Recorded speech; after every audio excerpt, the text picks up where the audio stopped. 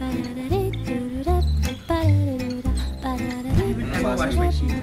You haven't washed your teeth? Oh, lovely. Hey,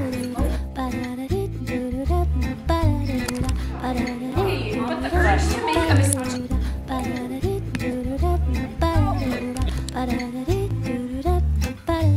Alright, tell me your name, your grade, and how you're feeling right now. When do you wash your sheets?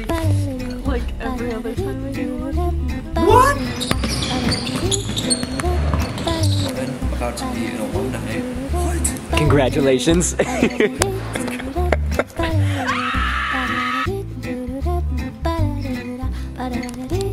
Zachary Pachaha. I'm graduated and I'm feeling pretty good. The sheets are huge. It's also so hard to wash But I sheets and only I put it back like on. every two weeks. It's so tough.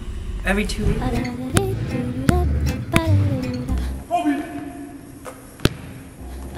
if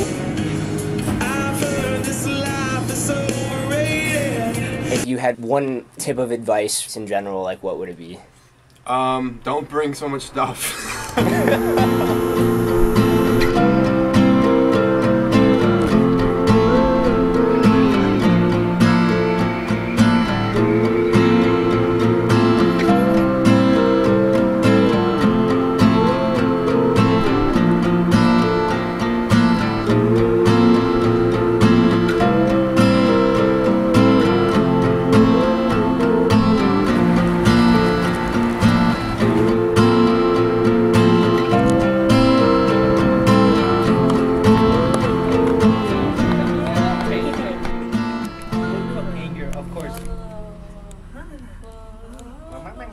Wait, this person said What is I spent my childhood in Europe and the UK. Ian, do you like watching sports?